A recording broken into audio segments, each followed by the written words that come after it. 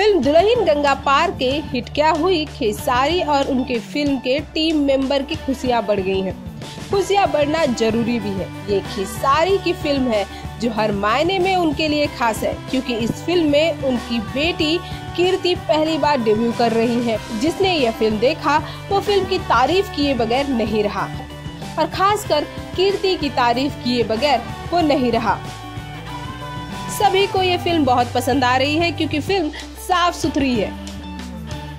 खेसारी के फैंस भी इस फ़िल्म को बहुत पसंद कर रहे हैं और हर जगह फ़िल्म अच्छा बिज़नेस कर रही है। लेकिन एक खबर खेसारी के फैंस को और खेसारी के लिए मायूसी देने वाली है। अब तक भोजपुरी पर्दे पर वांटेड इस साल की सबसे ज़्यादा कमाई करने वाली फ़िल्म है। वहीं दुल्हन गंगा पार के रिलीज़ तो हो गई है। फ़िल्म अच्छा बिज़नेस भी कर रही है, लेकिन उतना बिज़नेस नहीं कर रही है। जितना वांटेड ने अपने शुरुआती दिनों में किया था। सभी को ये लगा था कि दुल्हन गंगा पार के वांटेड से बड़ी हिट साबित होगी। यहाँ खेसारी के फैंस ने खेसारी को धोखा दे दिया।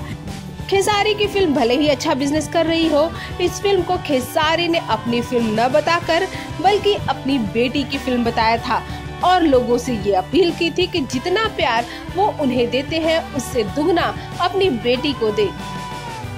क्योंकि खेसारी ने जहाँ जहाँ फ़िल्म की पब्लिसिटी की, वहाँ कीर्ति को अपने फैंस की बेटियाँ ही बताया।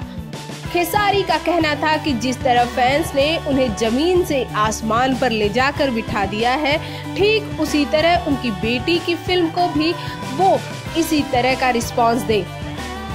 और दर्शकों ने रिस्पांस दिया भी। लेकिन फ़िल्म वांटेड ने जो बेंचमार्क क्रिएट किया है, लगता है खेसारी की फ़िल्म उसे छू नहीं पाएगी।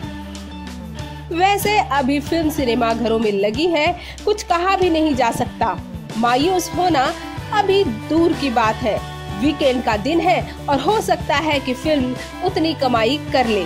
भोजपुरी जगत की अधिक से अधिक जानकारी के लिए हमें सब्सक्राइब करना ना भूलिए।